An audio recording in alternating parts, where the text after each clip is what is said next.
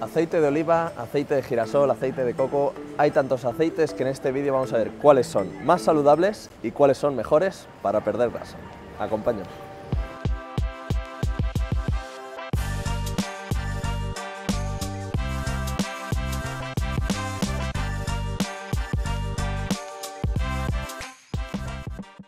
Vamos a empezar con un aceite que se utiliza mucho para cocinar, tanto para freír, para ensaladas, para hornear, que es el aceite de girasol. Hace años se decía que era saludable porque tiene muchos ácidos grasos poliinsaturados, como puedes ver ahí. Se trata de un aceite refinado alto oleico, significa que tiene un porcentaje de ácido oleico mayor respecto al aceite de girasol normal. Sin embargo, mantener un equilibrio entre omega 3 y omega 6 en la dieta es muy importante y en este caso el abuso de aceite de girasol puede dar problemas a largo plazo en tu salud.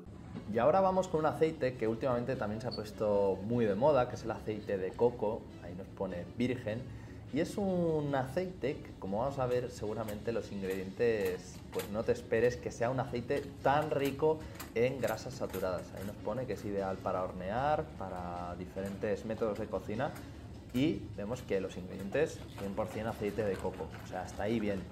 Mucho contenido en grasas saturadas. Hace años se demonizaron bastante, pero a día de hoy no se ha visto ningún estudio que diga que este aceite es perjudicial. Lo puedes utilizar, aunque hay aceites mejores que vamos a ver a continuación. Una mejor opción podría ser el aceite de oliva, sobre todo aquí en España, ya que al final somos de los países con mayor producción en este tipo de aceite y por ejemplo aceite de coco viene de Asia y pues no sería interesante a nivel medioambiental. En este caso nos encontramos una mezcla, refinado y aceite de oliva virgen extra. No sería una mala opción, como aceite lo podemos utilizar para freír mejor que el aceite de girasol, pero existe una opción todavía mejor que es el aceite de oliva virgen, que no virgen extra. Eh, al final hay una diferencia en cuanto a la acidez, pero eh, ahora veremos el virgen extra porque puede ser todavía un poquito mejor a nivel nutricional. Como vemos aquí, pues bastantes calorías, pero es normal al final porque el contenido en grasas de cualquier aceite es bastante, bastante elevado.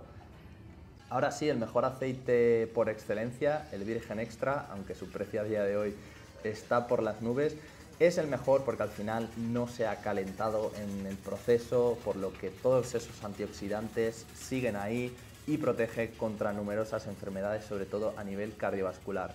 Como vemos ahí, simplemente aceite de oliva virgen extra y pese a que sea muy rico en grasas, es muy buena opción. Después tenemos otros formatos, como este de aquí, de oliva virgen extra, y destacamos este spray, que no está nada mal, para hacer pues, determinadas recetas puede ser bastante cómodo, pero el precio del litro es mayor que el aceite normal, así que mejor pues el bote entero.